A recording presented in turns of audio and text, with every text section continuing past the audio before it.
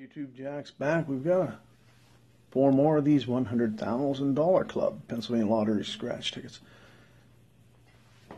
$5 variety. And we've got tickets number four through seven.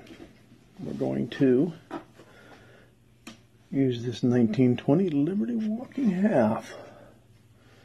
Now, this game here, you're trying to find a trophy symbol, a 10 times symbol, or the club symbol to win $100,000.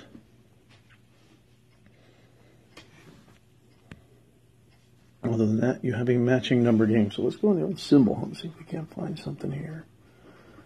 Nothing on those ones. 7, 23, 21, 29, 13, 14, 25, and 8. We have 6, 11, 12, and 26.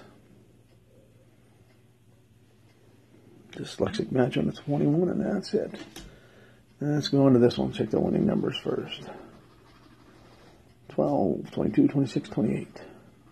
Oh boy, there's a 10 times right out of the gate. I'd like to see that. I wonder what the heck that could be. Yeah, we can find another one.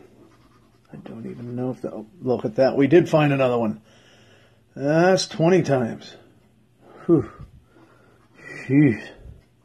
Starting to get excited. The old pulse racing. Yeah, let's just wait on that. We'll go on to the next one.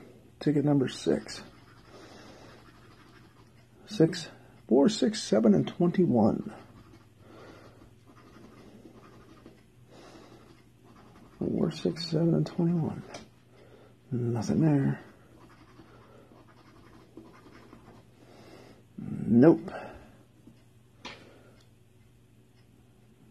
Nope, that was a BFL. On to the last one here. Winning numbers are 3, 1, 6, 18. 1, 3, 6, and 18.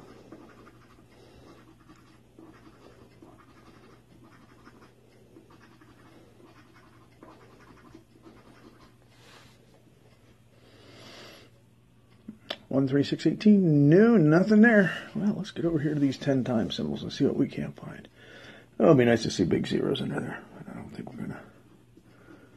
Oh, little zeros. You know, we got five dollars there.